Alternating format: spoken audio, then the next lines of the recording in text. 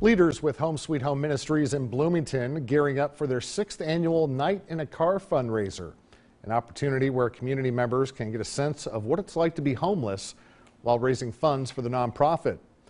For the event, participants live out of their cars during the overnight hours, either in the parking lot of Trinity Lutheran Church in Bloomington or online virtually from their own driveway. Leslie Bungie says funds for the event go right back into their programs and services they provide to their shelter residents, including providing meals, counseling services, and their Bread for Life food co-op. She says the event is eye-opening for many who participate.